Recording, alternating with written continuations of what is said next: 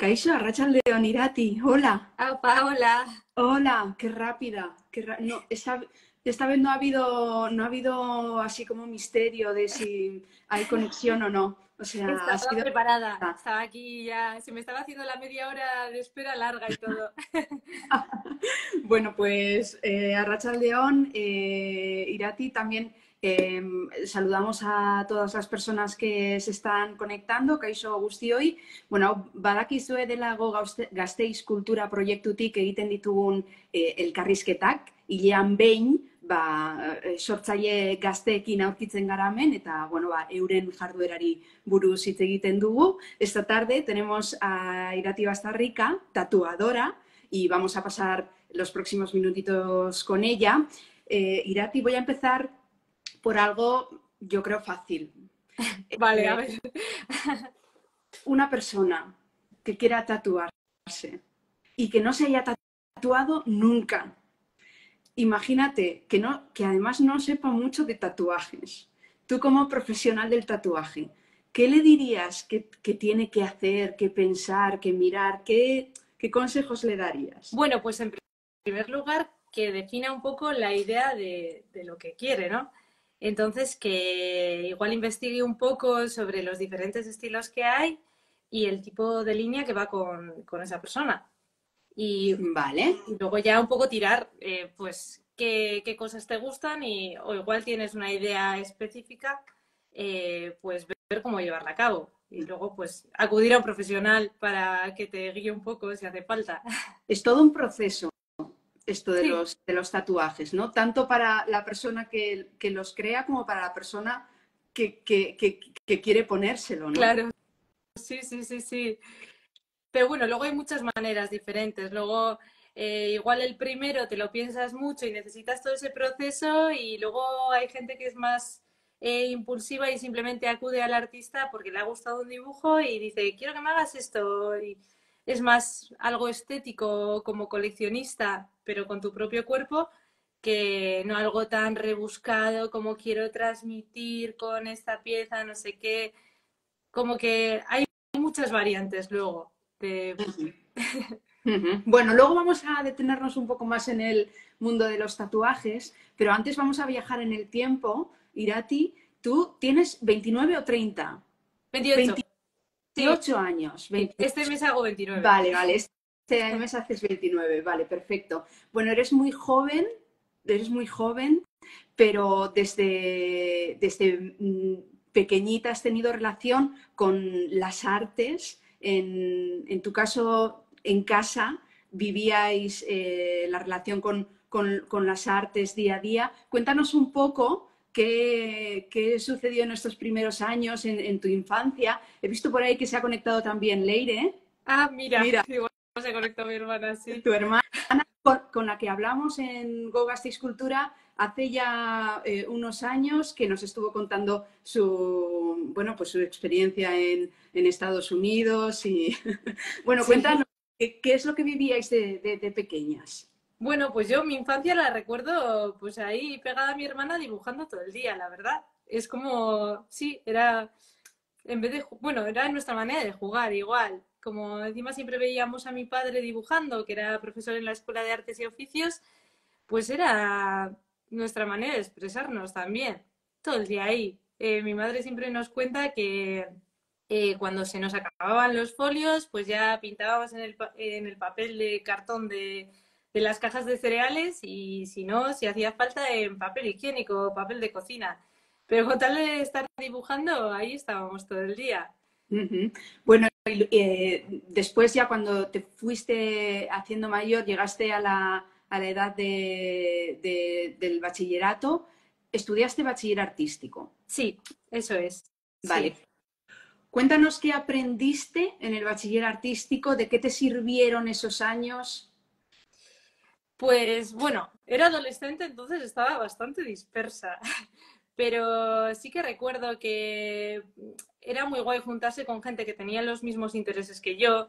Eh, y bueno, ahí estábamos en nuestra movida, nos sentíamos, yo creo, como los del bachiller artístico, como más bohemios, así, ¿no? Y estábamos ahí como un poco eh, apartados, pero guay, o sea, lo recuerdo muy bien. Y, nada, pues eh, yo creo que ayudó a que igual estructurara más las cosas a la hora de dibujar. Antes igual, eh, pues mm, si dibujaba una cara, pues empezaba por el ojo y luego iba saliendo el resto. Y esto me dio como una manera más fácil de llegar a, esquematizar las, los bocetos para hacer todo como más, más fácil y que quedase mejor, ¿no? Entonces, pues sí que me dio una buena base al final, yo creo. Irati, ¿conservas relación con, con, aquellas compañeras y compañeros del bachiller? ¿Sabes si han seguido la, la senda de la profesión artística? Pues con varios sí, y, muchos sí que han seguido por ahí. Pues eh, así como de la gente de mi clase, eh, pues está Maitán Argote, que justo me hizo un mural aquí detrás, no sé si se va a ver. No es sé. muy oscuro. Ah, Ahí sí, al fondo se ve. Se ve. Fondo. Sí. Le dije que me hiciera un mural en casa y, y, aquí vino una mañana a hacerme. Ella se dedica más a la pintura y así. Eh, luego también tengo compañeras Clara Cancelo, por ejemplo, eh, está en Barcelona como diseñadora gráfica. Eh, Natalia Suárez también eh, se dedica al teatro y a la pintura. O sea, sí que la verdad que mucha de la gente alrededor eh, sí que ha seguido por esa línea. Te podría decir muchos más, no sé si quieres, te, te sigo diciendo. Pero... No, te lo preguntaba porque, eh, bueno, por saber cuál era tu percepción sobre bueno, sobre si la gente sigue, ¿no? Eh, sí. Es decir, si eso que, que, que, es vocacional, porque, porque llegáis al bachiller artístico, porque, porque tenéis inquietudes artísticas, ¿no? Y, si, y bueno, ¿cuál era tu percepción sobre si eso luego se, se convierte en, en, en, una profesión, ¿no? Con los años. Sí, pues yo diría que, joder, claro, yo creo que igual con las personas que más he podido mantener o de las que más he era con las que más me junté por, porque teníamos esa afinidad. Entonces, de las demás personas que igual acabaron más de rebote, pues porque igual pensaron que iba a ser más fácil tirar por el artístico o tal, eh, pues igual ya no sé tanto. Pero creo que todas las personas, aunque igual hayan acabado en otras profesiones, han mantenido de cierta manera esa base artística. Mm -hmm. Irati, eh, sin embargo, tú eh, digamos, una vez terminado el bachiller artístico, no, no vas, por ejemplo, a, a formarte en, en, Bellas Artes, aunque te interesas por saber cómo, cómo es eh, esa formación universitaria, ¿no? ¿Por qué no seguiste este camino y qué camino decidiste seguir? Pues es verdad eso, que fui como a las puertas abiertas de Bellas Artes y tal, a ver la facultad, estaba ahí estudiando mi hermana justo y, y no sé, como que dije, va, es que ahora mismo tengo ganas de, de trabajar, de independizarme, de viajar, como de descubrirme un poco más eh, por ahí y, decidí entrar en cocina, que es algo que también me gustaba además mucho. Y vi por ahí la oportunidad de poder eh, seguir un camino no tan, no tan el estructurado que veía en mi cabeza, ¿no? No sé, pues lo rompí un poco por ahí y la verdad que estoy contenta con haber seguido por ahí, porque aprendí mogollón y, y no sé, también tengo muy integrada en mi día a día la cocina, obviamente todo el mundo, ¿no? Pero, joder, el haber aprendido bien eh, se nota, ¿no? Y sigue siendo como importante para mí. O sea, no, no me alejo de ello. Y durante unos años, por lo tanto, te dedicas a la cocina y además eh, entra en el plato como el ingrediente del viaje, ¿no? También de uh -huh. estar en otros lugares. Um, ¿qué, ¿qué, crees que te, que te, aportaron esos años? ¿Qué, ¿Qué, aprendiste? ¿Qué crees que se te ha quedado en la piel ¿no? de, de todo aquello? Pues a ver, eh, ¿cómo? Bueno, y cuéntanos, ¿nos puedes contar también dónde viviste? Sí, bueno, eh, primero hice el Erasmus en Palermo, en Italia, que encima me, me apasiona la gastronomía de allí, entonces fue súper guay. Eh, fueron tres mesecicos en los que aprendí mogollón y luego me fui a Alemania. Eh, estuve como seis meses en un hotel que era medio de prácticas, medio remunerado y de ahí eh, bueno, estaba con mi pareja de aquel entonces, que también estaba allí en Alemania haciendo lo mismo, y dijimos, va, aquí estamos como muy perdidos en la nada y queremos ver mundo, hemos venido para eso, no para estar aquí en un hotel perdidos. Entonces dijimos, va, pues con lo poquito que hemos ahorrado, vamos a Berlín a lo loco y, y, a ver si ahí nos sale trabajo y si no, nos volvemos a Vitoria. Y nos salió trabajo y, y estuve entonces ahí unos meses también viviendo en Berlín y pues metió pues mucho mundo. Es verdad que pienso que era muy joven por aquel entonces y como que me venía también un poco grande la situación, pero aprendí mogollón, eh, creo que me curtí un montón, me hice como mucho más responsable, eh, mm, saqué todo el partido de lo trabajadora que, que llegaba a ser, ¿no? Y, y me hizo también apreciar mucho mi tiempo, ¿no? Decir, ostras, es que en hostelería al final tienes horarios muy sacrificados, eh, los fines de semana, los días libres, no estás con tus amigos como está todo el mundo. Entonces, todos esos años aprendí a valorar un poco eso, yo creo.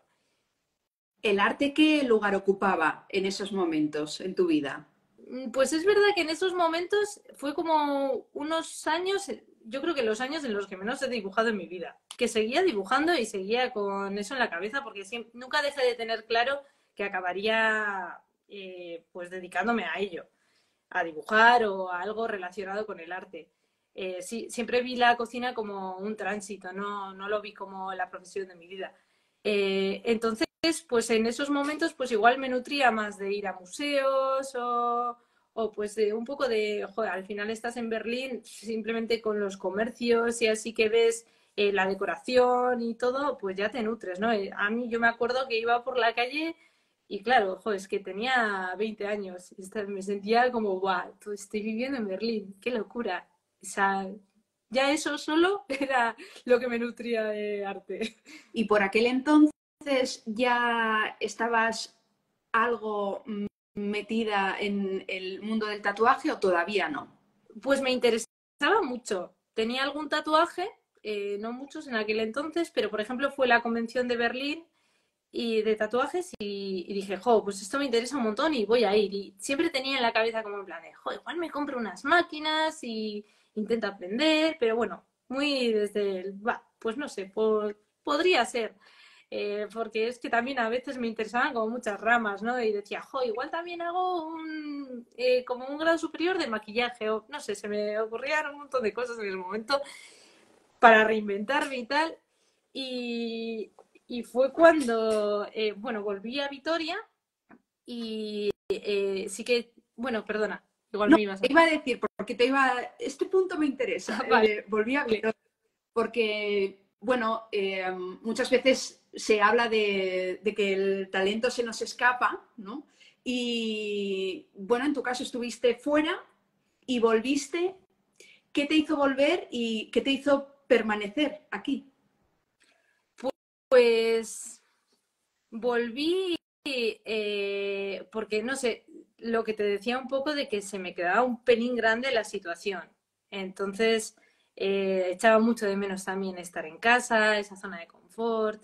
Eh, y aunque estaba muy a gusto y muy enamorada de la ciudad, mm, no, sé, el apego un poco por Vitoria me tiraba. Y dije, va, creo que ya lo vivido aquí ha sido ya suficiente, me he nutrido ya lo que me tenía que nutrir por el momento, ya volveré más adelante si, si es necesario. Y entonces me, me volví y dije, bueno, todavía ahí estaba centrada un poco en la cocina. Entonces también estuve trabajando un poco todavía en Vitoria en cocinas eh, fui también a Andalucía dos temporadas de verano a, Cádiz a trabajar. Ahí sí que me curtí, porque ostras, las temporadas de verano en Andalucía está muy bien para ir de vacaciones para currar, no tanto. y ahí también, a la vez que curtirme, me di cuenta de que eso no era para mí, no era lo que quería y, y que quería reinventarme del todo ya. Así que ya volví a Vitoria ya definitivamente. y eh, ahí pues acompañé, bueno, ahí empecé un poco, pues estaba trabajando en algún bar y así todavía, pero ya con la cabeza en, ya me compré unas máquinas. Ya en ese momento. Sí, o sea, ya compré unas máquinas, ya, dije, bueno, ya... ibas teniendo claro ya el camino. Sí, iba definiéndome, sí. Eh, pero bueno, las tenía en casa y pues yo qué sé, pues le hacía a algún amigo alguna chorrada, pero sin, sin ninguna base, la verdad. un poco tienes, loco. Tienes buenos amigos entonces. Sí, sí, sí, sí. Bueno, sí, sí, sí, la verdad que sí, gracias a todos. A mi hermana también le hice, alguna ahí en la cocina de casa, eh, pues bueno, poniendo nerviosa a mi madre.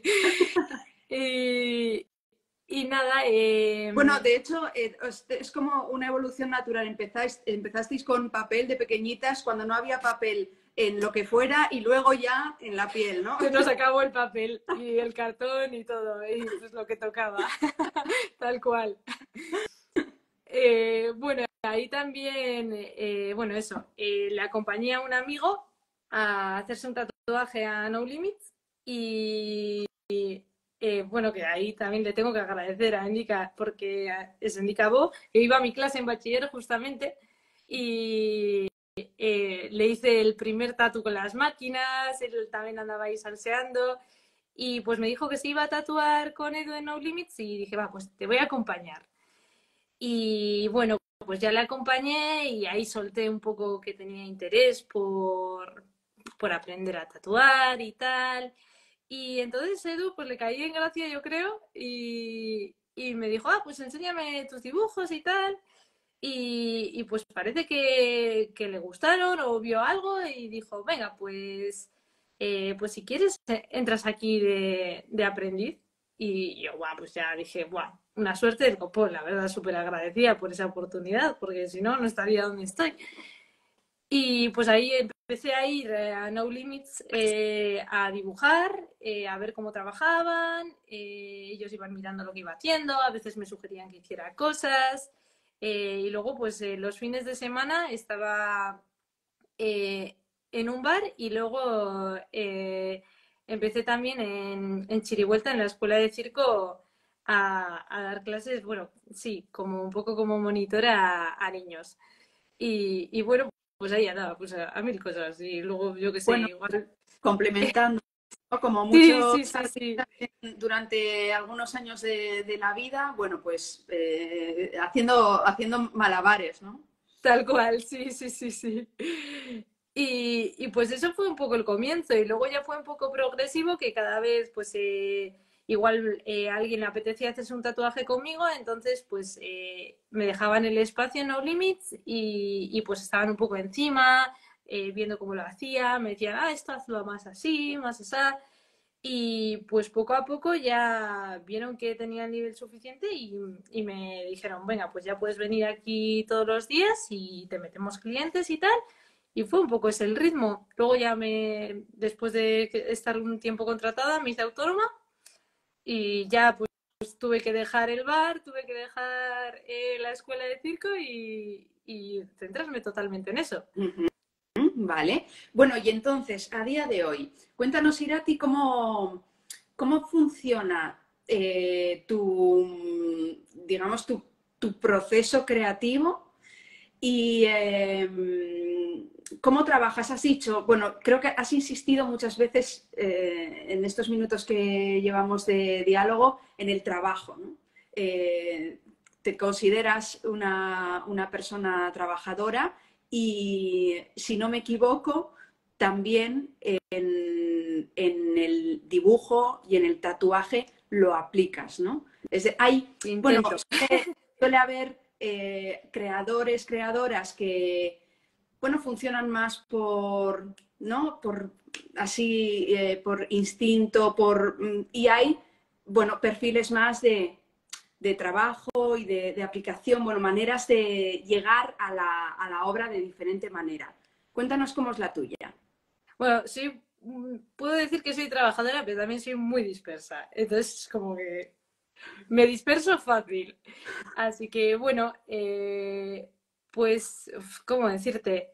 Eh, yo al final eh, me reparto el día como antes hacía horario partido y entonces me levantaba súper temprano a la mañana, dibujaba, hacía lo de la mañana, luego al mediodía mientras comía preparaba lo de la tarde y así un poco yo creo que eso es un poco el nombre de No Limits va por eso, porque estamos en el límite siempre. Vamos ahí a última horica. Eh, no suelo, o sea, no, me sale eh, preparar los proyectos mm, dos meses antes. Siempre ando como, o sea, con esa presión de última hora funciono mejor, digamos.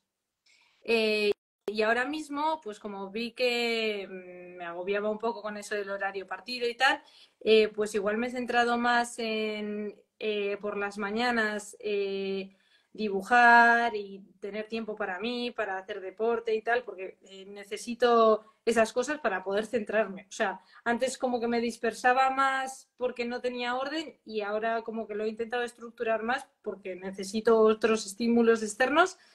Eh, entonces por las mañanas dibujo en general, ¿eh? Luego hay veces que también a la mañana trabajo. Bueno, a ver, luego la vida, ¿no? Pasa, ¿no? Sí, eso es, sí, sí. Que, bueno, dibujar es parte de mi trabajo, pero bueno, que lo hago desde casa, más tranquila, eh, más respirando con mis tiempos y luego a las tardes hago como más intensivo ahora. Eh, y así pues siento que eh, le doy más el tiempo que necesita cada dibujo, porque creo que al final cada persona se lo va a llevar para toda la vida y que es muy importante eh, darles su tiempo y todo el cariño que les quiero poner. Y eh, la, persona que se acerca y, quiere un tatuaje tuyo em, es siempre una creación que tú haces, es una creación que tú haces según lo que esa persona te ha contado. Supongo que hay diferentes maneras de, de trabajar. Y cuéntame, también me interesa esto de agenda abierta, agenda cerrada. Esto también me interesa. Porque entramos en el perfil de Instagram y ahora mismo la agenda está cerrada. Sí. bueno, eh, a ver, eh, al final cada persona se acerca un poco, pues hay personas que simplemente igual quieren una frase y quieren, se contactan conmigo pues porque les han recomendado y, y pues les he generado algún tipo de confianza por la que quieren hacerlo conmigo y, o bueno, por la línea que hago y tal. Entonces es algo como muy específico, en plan de, oye, quiero esta frase con esta tipografía, o he visto pues eh, este símbolo, quiero este símbolo. Eh, eso podría ser como lo más sencillo. Luego eh, puede ser que tengas tu idea o que hayas visto igual un dibujo de otra persona y tal y quieras que yo le aplique mi estilo. O gente me dice, eh, va, pues quiero que me hagas algo, mm, lo que tú quieras. que eso es como muchas veces como, ¡buah! Hay tantísimas cosas que te puedo hacer y en esos casos sí que suelo quedar con la persona y entre los dos hacer como un brainstorming y ya definir un poco una idea, porque mm, partir de cero a mí se me hace muy complicado. Pero hay mucho trabajo también eh, por parte de, de las personas que tatuáis por intentar ver el alma ¿no? de la persona que tenéis enfrente. Sí, sí, sí, quiero pensar que sí. De hecho, eh, bueno, hay, hay, alguna vez me ha pasado de no conectar con la idea eh, que me están contando y, y, decir que, oye, mira, es que no, no me están haciendo de aquí nada. Entonces, creo que mejor esto lo dejamos para más adelante. O sea, no me ha pasado muchas veces, ¿eh? Normalmente, o sea, al final, trabajando día a día esto, entrenas la creatividad y suelen salir cosas. Pero hay veces como que igual te proponen una idea y quieren que lo lleves a cabo con tu estilo, te mandan encima referencias como específicas y tal, y dices, hostia, es que no, no fluyo, ¿no? Y mm, no me gusta hacer cosas como, obviamente no me gusta copiar. Eh, quiero que esa persona se lleve algo único, ¿no? Y en esos casos, pues igual digo, ojo, pues eh, vamos a, o sea, intento ser humana, bueno, es que soy humana, ¿no? Entonces, eh, intento ser natural con eso y no, no hacer algo que no me guste, tampoco. ¿Recuerdas, tienes alguna experiencia de, bueno, alguna historia que te haya llegado? Es decir, un poco el, el, opuesto, lo opuesto de, lo que estabas contando, ¿no? Estabas hablando de igual alguna vez que no conectabas con, lo que te estaban pidiendo, con, la historia, con lo que te estaban contando. ¿Alguna vez que hayas conectado muchísimo con, alguien y, haya sido un trabajo bueno, especial para ti? Oh, pues la verdad que un montón de veces, ¿eh? Tengo suerte que puedo decir que con un montón de, clientes como que fluye muy guay, yo creo. Eh, como que igual, eh, incluso, mm, igual hemos hablado ligeramente de una idea general, así igual por redes o por email y tal, y llegar y hablar en persona y que fluyan unas ideas y y un algo que de repente haya una esencia en eso muy única y, única por esa persona y por mí. Y que con otra persona nunca va a ser así, ¿no? Y creo que tengo varios proyectos que, que enseñan eso muy bien. Irati, también te mueves a otros estudios, a otros lugares. Eh, em, ¿qué, te, ¿Qué te llevas de, estos, de estas escapadas que haces? Pues a mí me gusta mucho moverme por cambiar un poco de entorno y mm, pues despejarme de Vitoria. Eh, y al final cuando tú vas a otros estudios ves cómo trabajan otras personas y eso te nutre un montón también. Aparte de que te das más a conocer porque si viajas a otra ciudad llegas a más gente. Eh, pero sí, cada estudio tiene su encanto, su esencia y al final como somos personas creativas pues eh, te llevas de todo el mundo algo y todo, todo suma, todo aporta. Em, ahora mismo eh, estás centrada en esto y ves clarísimo que vas a seguir por aquí. ¿Es una pregunta o una afirmación? Es una pregunta, es una pregunta con tono de, afirmación. El otro día cuando te preguntaba, eh, ¿cómo, te presento? ¿no? Y me dijiste muy claramente, tatuadora. Sí, Sí, porque jo, tengo ahí un poco el síndrome de la impostora de que, mm, aunque haya hecho trabajos de ilustración de vez en cuando, como no tengo una formación profesional realmente en eso, eh, me da mucha vergüenza decir que puedo ser ilustradora, porque no me lo considero. En, cuanto a ser tatuadora, puedo decir ya, mira, oye, ya tengo la experiencia como para decir sí, soy tatuadora. Pero por eso te dije súper claro, en plan, tatuadora, tatuadora. Pues yo sí me vamos, creo que de, impostora nada, vamos, que eres ilustradora de arriba abajo, llevas toda tu vida haciéndolo, ¿no?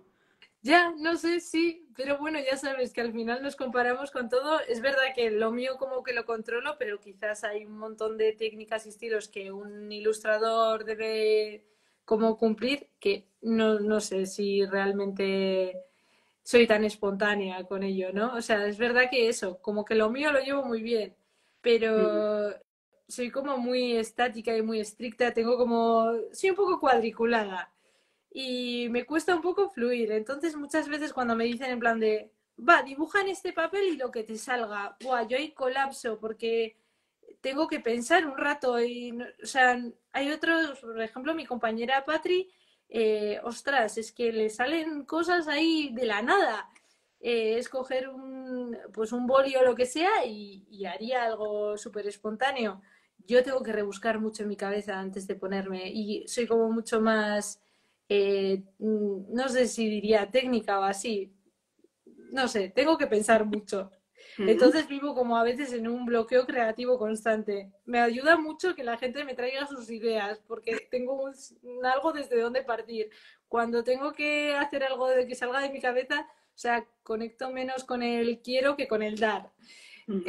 Así que bueno, pues en ello, pues trabajando en ello también, ¿eh? Claro, claro. Irati, ¿y tienes, has tenido aprendices tú? Es decir, no, eh, no, no, todavía no. No he tenido, nadie mm, me ha preguntado a ver si puede ser mi aprendiz.